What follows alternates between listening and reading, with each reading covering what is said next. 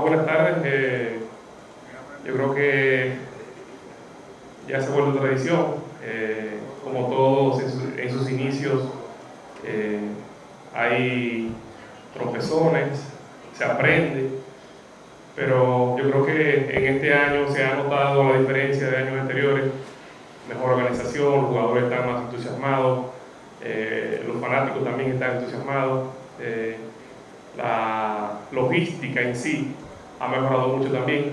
Eh, eso quiere decir que vamos a un buen rumbo. Bueno, sí, eh, van bien. Eh, en verdad no sabía que se trabajaba tanto. comenzar todo desde cero, toda la logística en sentido general. son muchas las llamadas, muchos los emails, muchas las reuniones que hay que hacer. un reto, diría que de lo más difícil de mi carrera, pero tengo un grupo detrás que, que me ha ayudado sobremanera y eh, en sentido general las cosas van avanzando muy bien. Bueno, eh, la, la, la, carrera de Albert pues es histórica. Eh, al tú mencionar el nombre de Albert Pujol con un Barry Bonds, un, un Willie Mays, un Babe Ruth, y ahora tienen que incluir el nombre de Albert en los 700 borrones, pues te dice que son pocos los jugadores en la historia del béisbol que han acumulado los números que él ha acumulado. Eh, muy exigente, de mucha competencia, entonces yo creo que sus números todavía lo hacen mucho más, con mucho más peso. Eh, con relación a toda esta pregunta, yo creo que, que en todo, eh, yo creo que la organización, lo que conlleva crear un, un torneo, que se pueda jugar todo el año, como tú mencionas, pues eh, esa logística se está tratando de hacer. Eh, tengo conocimiento porque he conversado sobre el tema con, en varias ocasiones y el interés está de que se dé ese tipo de, de, de eventos, que se pueda jugar el año entero en una liga de verano, eh, pero es un proceso que, que, va a tomar tiempo, pero estamos trabajando en eso. Sí, sí, Jeremy Peña nos hemos comunicado con casi todos los jugadores.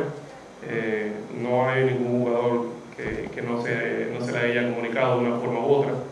Eh, yo personalmente sí tuve un contacto con él por, por WhatsApp eh, y así ha sido el caso con todos los jugadores.